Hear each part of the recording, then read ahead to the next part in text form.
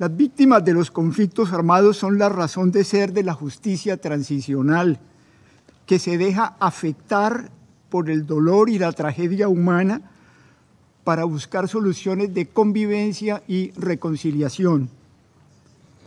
En el conflicto de Colombia, que duró 50 años hasta noviembre del año 2016, murieron cerca de 240 mil civiles y hay casi 9 millones de víctimas reconocidas. Y el grito continuo de las comunidades victimizadas que sigue siendo paren la guerra ya, párenla por todos los lados. Esto es la transición integral. Es el proceso donde el Estado y los rebeldes van por el cumplimiento total de lo acordado en la firma por la paz. La transición integral exige cuidar de la vida de los excombatientes y reincorporarlos a todos dignamente a la sociedad.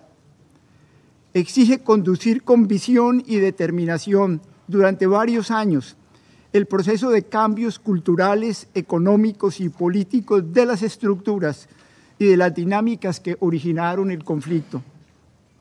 Exige voluntad política en los gobiernos que deben cumplir la totalidad del acuerdo e ir más allá hasta la superación de todas las violencias políticas. Cuando hay gobiernos nuevos que no firmaron el acuerdo de Estado y no son claros en apoyar lo acordado y crean dudas sobre la transición puesta en marcha, en la sociedad se recrudece la polarización que hubo durante la guerra.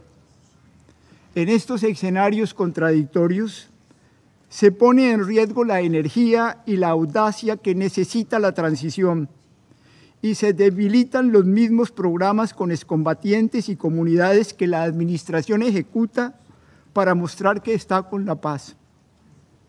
Sorry, but there your presence with intense diplomatic Debe haber una actividad diplomática intensa en el Consejo de Seguridad. Eso es sumamente importante cuando el proceso de la transición integral está ya en manos de la sociedad, sobre todo de los jóvenes. Nadie lo detiene, porque los pueblos no renuncian a la paz una vez que han probado el entusiasmo de vivir fuera del terror. Los pueblos que con la justicia transicional van hacia la paz grande, ponen en ustedes la confianza y les expresan profunda gratitud.